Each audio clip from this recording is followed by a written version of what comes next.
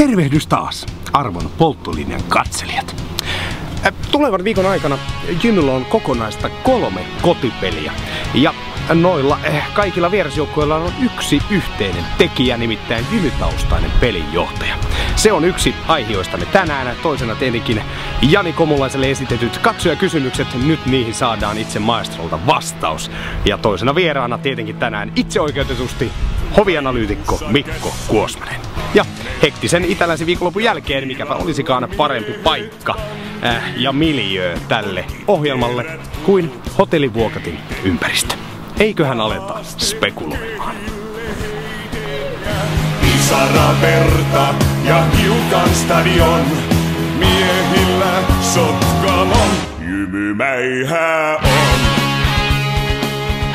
viikon sisään Jymyllä aika mielenkiintoisia kotipelejä, kolme kotipeliä. Ensin torstaina Joensuu, sunnuntaina Hyvinkää ja sitten vielä tiistaina Koskenkorva urheilijat. No joo, totta kai sotkamolaisena niin tuota, katsoo valmennusta pelijohtoa. Siellä on sotkamolaista väriä joka joukkueessa, niin tuo oma mielenkiinnon varmasti asiantuntijaraadille, mutta myös ihan suuremmallekin yleisölle.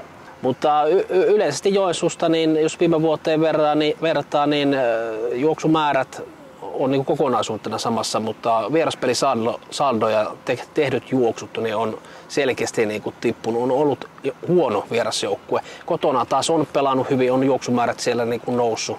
Ja tuota, Janne tietää, että milloin pelit pitää voittaa.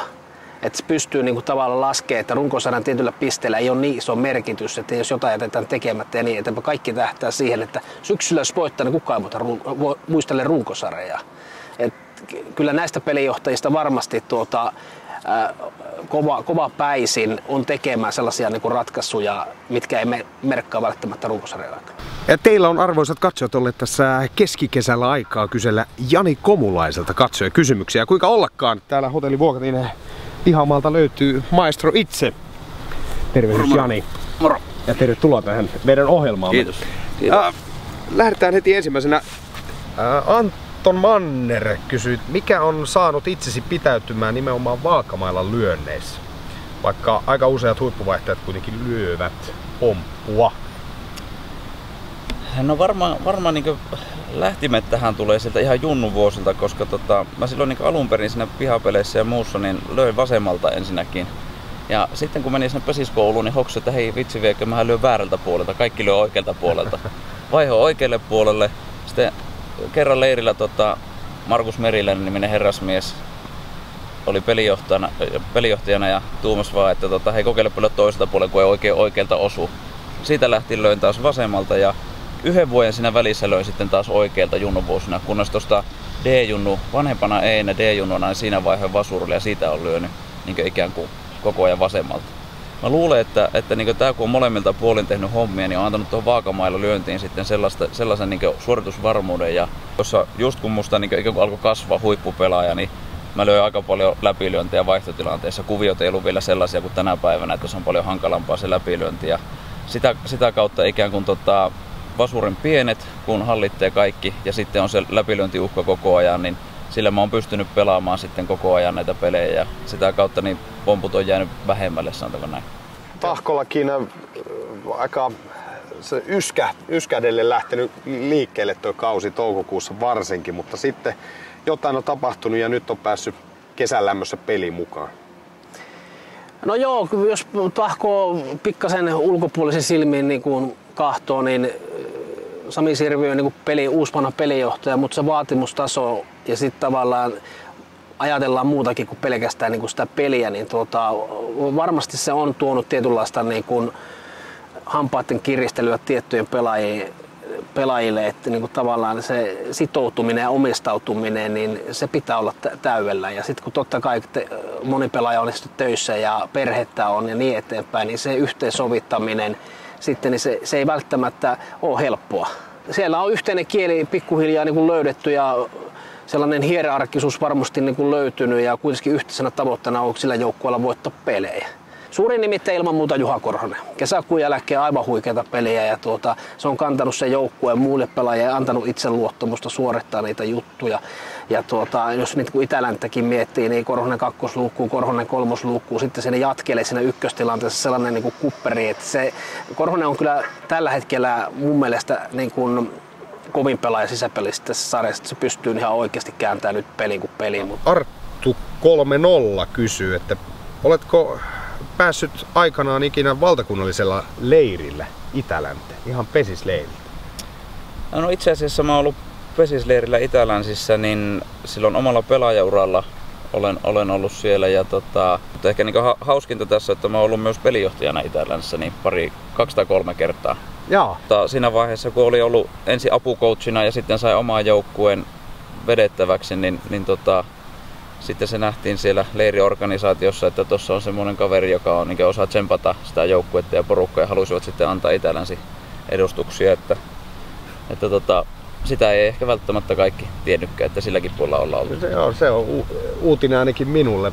Sieltä varmasti löytyy sitten myöskin mieleenpainuvia hyviä muistojakin. Noita pesisleideltä, keltäpä ei. No joo, se tota, eh, ehkä tota pesisleiriltä tuosta Itälännestä nyt kun siitä kysyit tuossa noin, niin siitä jää mieleen kyllä se, kun Turussa oltiin Itälänteen valmistautumassa ja nuori Jani Komulainen ei malttanut olla kuuntelematta lännen merkkiä siinä oven takana, kun ne kertasi sitä. Ja, tota, sitten sovittiin tota, muuan Valtteri Filppulan kanssa, joka oli silloin oli meidän lukkarina päiväkummusta ja sovittiin, että mä näytän, että milloin taktiset paikolleen tai milloin syötetään mitäkin syöttöjä ja en, taittiin kuitenkin hävitä loppujen lopuksi se peli, mutta tota, Filppula palkittiin kentän parhaana ja pelasi huikea peli.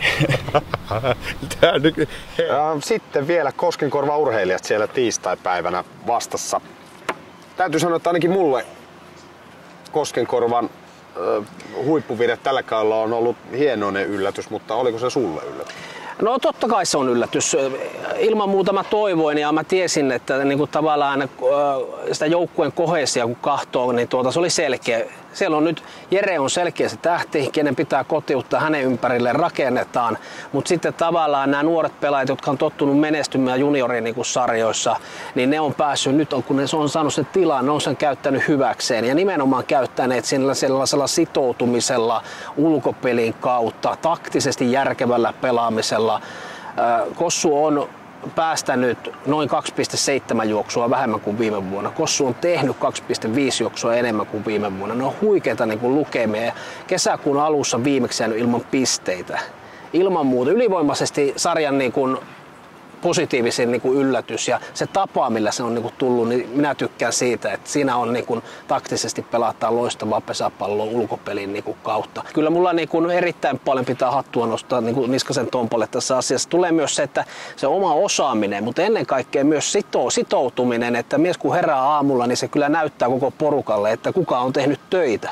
Niin ja sitten tavallaan, että pelaajat ei pääse niin kuin, tavallaan karkusta omaan tekemistä, kun se johtaja on sellainen, joka sitoutuu siihen niin kuin, tekemiseen ja hänellä on aikaa siihen ja pikkuasiat pureskella ja niin ja niin eteenpäin. Että kyllä se esimerkin voima myös tuolla pelijohtovalmennuksen puolella on niin kuin iso sillä henkisellä puolella. Ja vielä täältä Instagramin puolelta viimeisimpänä, mutta ei vähäisimpänä. nimimerkki Keijo Tepponen kysyy nimenomaan ei jos, vaan kun joutuisit autiolle saarelle Toni Kohosen ja Jimi Heikkisen kanssa, mitä tekisit ensimmäiseksi? Siinä on aika, aika mielenkiintoinen kolmikko olisi. No joo, tuosta kolmikosta varmaan niin tota, on ainakin tiedosta, kuka syödään ensimmäiseksi, kun ruoka loppuu. tota, tota, tota, kyllä varmaan, siis mun luonteella ehkä ihan ensimmäinen tehtävä olisi tota, pitää Kohonen kurissa, että se ei heti Jimiä niin laittaisi paloiksi että yritettäisiin löytää joku muu ratkaisu siihen, mutta, mutta tota, kyllä se aika lystikäs idea olisi. Ja voisi olla, tota, sanotaanko, että hetki hauskaa ja sen jälkeen ei enää. Katsotaan, jos löydetään Sapsojärveltä tai Nuosjärveltä joku autiosaari, niin tämähän laitetaan vielä toteutukseen. Tällainen jakso tällä kertaa.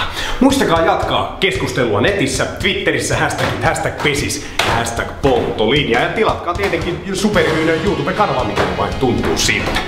Tulevalla viikolla siis hiukassa kosolti kotipelejä, kolme kappaletta, mutta ennen kuin mennään asioiden edelle, niin minä jään tänne Hotellivuoketin Honkalinna saunomaan.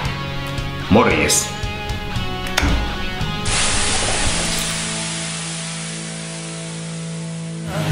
Pisara verta ja hiukan stadion.